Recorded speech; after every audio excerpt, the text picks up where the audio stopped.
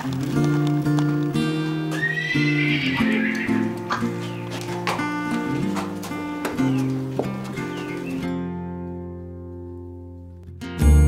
the coach for the team has been really a great experience for me. Um, these girls work really hard.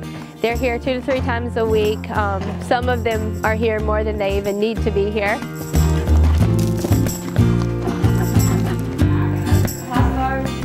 They work really, really hard. Our horse shows are around 5 a.m. is when we get up. Our registration is at 7.30 a.m.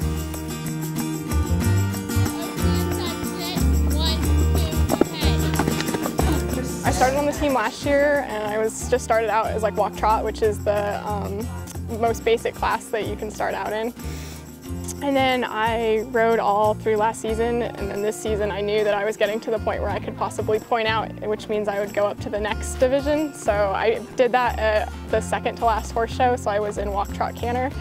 And then in doing that, I also qualified for zones, so I'm able to go compete. Taylor Landis won the Cacchione Cup this year. Uh, there's only so many people in the entire country that get to go to the Cacchione Cup. This is a huge opportunity, and she won that for our team out of our entire region. We are Zone 5, Region 3 and we're very, very honored to have this opportunity. Honestly, I'm just trying to stay as calm as possible and it's mainly when I'm jumping a course, I try and think of it one fence at a time, like piece it apart, because it can be overwhelming just walking into a ring with everybody staring at you on a horse you've never ridden before.